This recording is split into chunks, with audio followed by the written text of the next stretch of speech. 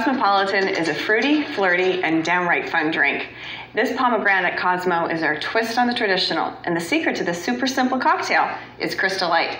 Start by adding one tub of Crystal Light cherry pomegranate low calorie drink mix to a large pitcher. Add four cups of water and stir until the drink mix is dissolved. Then add one cup of vodka, one cup of cranberry juice cocktail, quarter cup of fresh lime juice, and a quarter cup orange juice. And ice. Mix well. Pour the Cosmo into a fun glass and enjoy. You can even top the drink with a few pomegranate seeds for a little extra special touch. For a non-alcoholic version, simply substitute the vodka with club soda. The drink is delicious either way.